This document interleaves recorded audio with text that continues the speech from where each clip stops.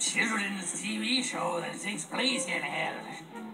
Getting off tranquilizer darts. For this, you'll need one bed, chain tube, lady's shirt, pirate sized, beef flavored tomato juice, two jugs of, fruit snack, 10 feet of, coffee cake, crunchy part of, picture of old people dancing, sympathetic kitten, television, she's all that DVD. One bucket for urine, one for feces, one for vomits. Oh, and one for the kitten.